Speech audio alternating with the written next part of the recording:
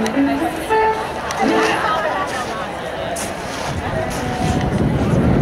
have a, a new record out, and we're doing a bunch of songs from that. And maybe the whole thing is new to you. I don't know. We're Nicki Bluhm and the Gramblers, and we're from San Francisco.